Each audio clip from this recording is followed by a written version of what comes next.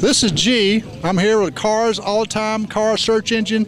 I'm here at the Coffee and Cars event, and we're talking to Chris here and his Chevy. Tell us about your Chevy, Chris. Well, it's a 57 Chevrolet Bel Air two-door sedan.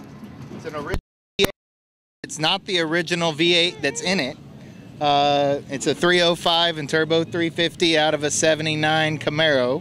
305. Okay, 79. Okay. Mm -hmm. I trying to put it to because I heard 302s, but never 305. Well, it's a it was a smog motor, and uh, and uh, it wasn't put in by me. It wasn't my choice of motor, Yeah. but it's a good runner, and it and it and it it runs good. It's uh, it's never let me stranded anywhere. Well, that's good. And let's, let's uh, go back to the yeah. interior right there. Now look, look at the white le- white sidewall tires here. Now that, yeah, wide white wall tires from a uh, from a uh, 56, and uh, the hubcaps I think are 55, and um, somewhere's around there. yeah, yeah. Now, take a look at the interior here, Rob. Uh, it's got red interior, it gets a silver car here, and the big steering wheel as you see in the older cars. Yep. This is an original color uh, uh, choice from the factory, Inca silver and red and white interior. Now, that, this didn't come with power steering, right? No, they do not. No, That's they the do not. why for the big, bigger steering wheel. Right, right, exactly, exactly. You got to manually turn Yep, that thing. yep.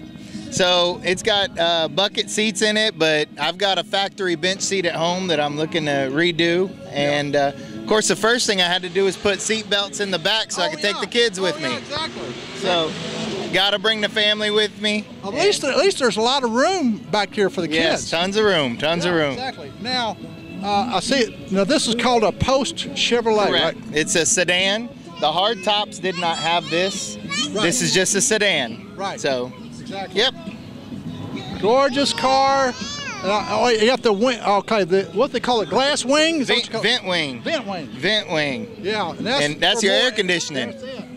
That's before you had air conditioning. That's what you use for air conditioning. Now you get going 70 miles an hour, and that's your air conditioning. That little vent wing right here. And even in Houston traffic, at 5 o'clock on 610, you don't sweat a whole lot as long as you're moving just about 30 miles per hour or so.